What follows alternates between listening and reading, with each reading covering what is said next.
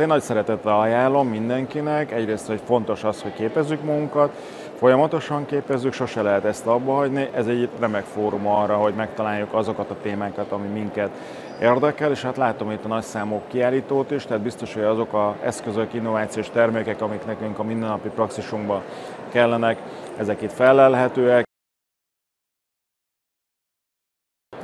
Jobbfancsali Árpád vagyok, a Szemmelweis Egyetemnek az Arc Álcsan Szájsebészet és Fogászati Klinikáján dolgozom, a, a járóbeteg osztályt vezetem,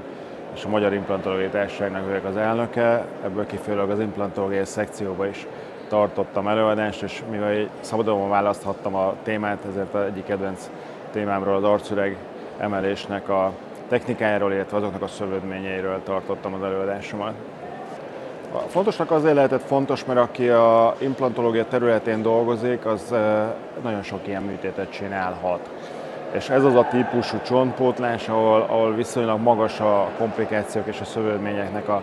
a száma, és talán ezeknek a megoldására is tudtam nyújtani választ, és igyekeztem a legújabb irodalmakat összeszedni, ezt egy tematikus előadásban úgy elmondani, hogy, hogy ne az jöjjön le, hogy félni kell a műtéttől, hanem az, hogy a műtét előtt ez egy gondos tervezés, gondos diagnózis, anamnézis felállítás után ez egy megbízható, precíz eljárás legyen.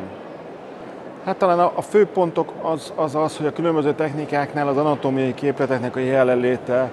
az nagyon fontos, tehát hogy a, a műtét előtt azért a, a tervezésnek ilyen szempontból különös jelentősége van, hogy ezeket a, ezeket a régiókat jól ismerjük, hogy milyen idegsérüléseket,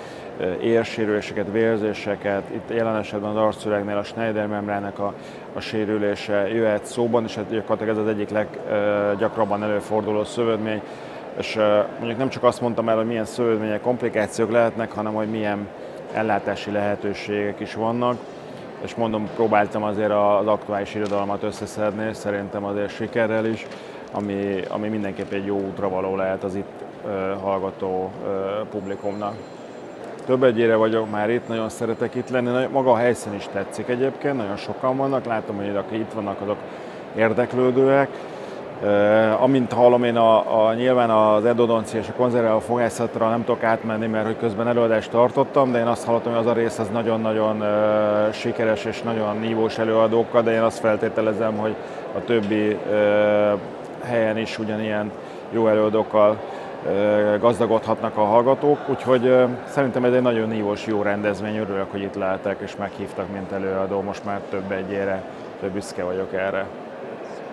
A továbbképzést én mindig fontosnak tartottam, nyilván mindenki megválogatja, hogy milyen továbbképzésre szeretne menni, mi az, ami, ami érdekli őt. Ezeknek a formája is azért változik, hogy ezek a személyes, personális kapcsolatok egy-egy ilyen továbbképzésen azért az előadásokon kívül is megtörténik, hogyha elmegyünk egy kiállítóhoz, ott lehet vele beszélgetni, megfogdosni a tárgyakat, megismerni, kérdéseket feltenni. Van, aki nem nagyon mer kérdezni egy előadás után, mert mondjuk félszeg, de utána oda tud jönni, meg tudja kérdezni, amit egyébként az előadás alatt nem mert megkérdezni. Ezek az interpersonális kapcsolatok is jobban ki tudnak